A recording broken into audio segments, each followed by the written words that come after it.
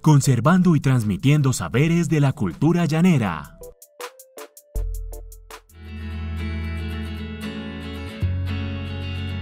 En nuestro recorrido por tierras casanareñas visitamos el municipio de Paz de Ariporo. Allí nos encontramos con el maestro Hermes Romero, quien nos relató acerca de su amplia experiencia conservando y transmitiendo saberes de la cultura llanera como artesano y folclorista.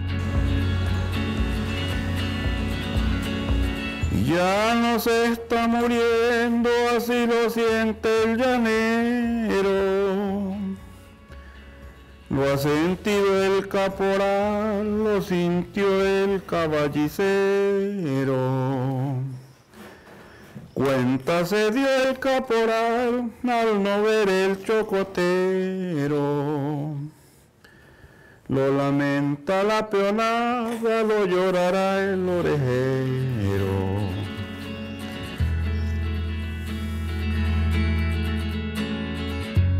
Tuve la gran bendición de crecer al lado de mis padres y mis hermanos mayores, donde en ese entonces pues era una obligación aprender muchos oficios que tienen que ver con todo el trabajo alrededor de la, de la ganadería, utilizando como materias primas lo que teníamos nosotros a nuestro alrededor, a nuestro alcance, que eran los cueros de las reses, las crines, los cachos.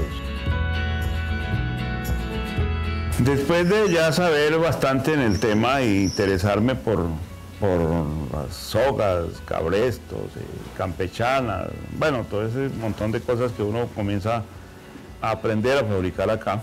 Tuve la oportunidad de asistir a una convocatoria nacional del Ministerio por allá en el 97 y logré ganar esa convocatoria y ahí me di cuenta de que lo que yo hacía se llamaba artesanía.